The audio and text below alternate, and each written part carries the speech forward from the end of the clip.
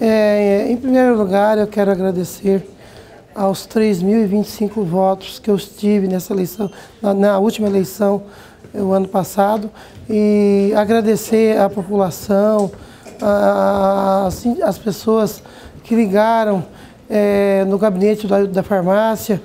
é, entrou em contato com o Facebook do Ailton da Farmácia, pelo WhatsApp do Ailton da Farmácia, desejando umas boas festas né, e um final de ano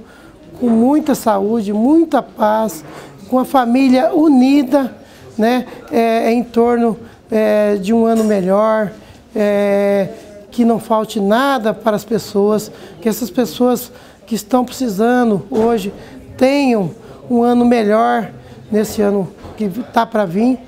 E,